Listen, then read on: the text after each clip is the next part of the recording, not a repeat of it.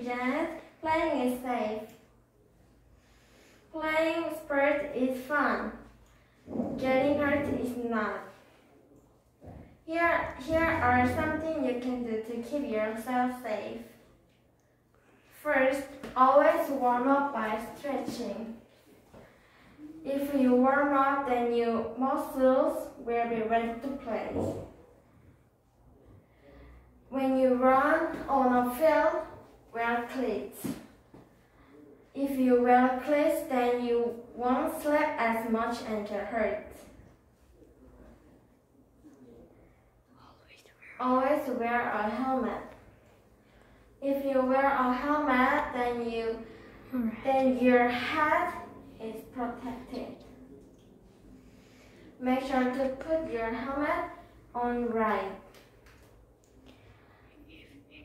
If it is not on, if it is not on right, then it will fall off.